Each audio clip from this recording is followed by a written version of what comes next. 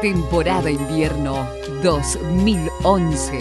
La Rioja de la Humanidad. Cuatro días y tres noches. Incluye Talampaya, Valle de la Luna, Cuesta de Miranda, transfer, alojamiento con desayuno, chofer y guía. 910 pesos por persona. Este invierno viví La Rioja. Secretaría de Turismo.